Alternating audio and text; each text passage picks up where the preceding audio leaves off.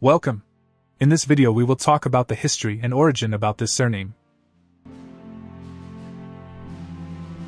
The surname Bagenholt is derived from their residence in or around the region of Bagnall, which was in the parish of Stoke-upon-Trent in the county of Staffordshire. Bagenholt from Ireland dates back to the days of the Anglo-Saxon tribes of Britain.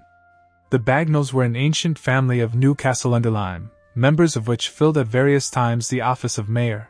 The family came into possession of the manor of Hanley 150 years ago. Bagnall is the name of a Staffordshire village.